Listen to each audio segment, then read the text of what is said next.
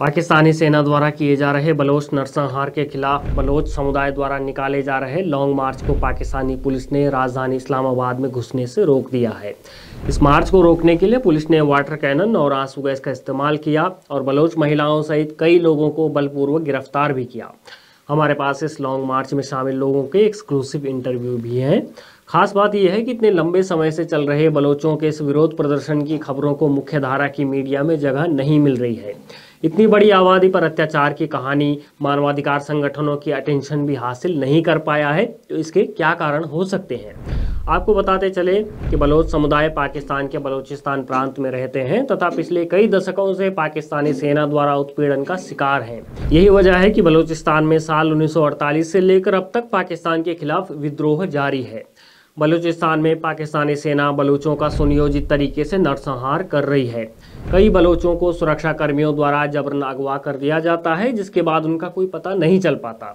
कई बलोच आज भी अपने परिवार वालों को ढूंढ रहे हैं तथा कई अगवा हुए बलोचों की आखिर में लाश ही मिल पाती है।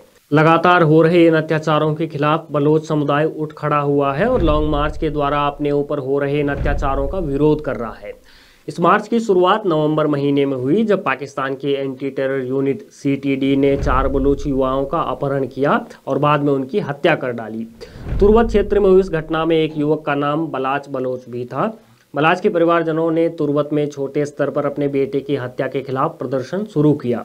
धीरे धीरे इसमें लोग जुड़ते गए, जो अंत में लॉन्ग मार्च में बदल गया। पाकिस्तानी एक्टिविस्ट डॉक्टर महरंग बलोच के अनुसार, फर्जी मुठभेड़ में बलाच बलोच की हत्या के साथ बलोच नरसंहार के खिलाफ चल रहा लॉन्ग मार्च सिर्फ़ एक प्रोटेस्ट मार्च नहीं, बल्कि बलोच राष्ट्र की उम्मीद भी है, जो पाकिस्तानी सेना द्वारा उत्पीड़न और शोषण का सामना कर करके थक गया है। बलोच नेताओं को उठा लेना, उन्हें अगवा कर लेना, वहाँ पर आम बात हो गई है। इसमें पीटीएम नेता मंजूर पश्तीन, अली वज़ीर जैसे नाम प्रमुख हैं।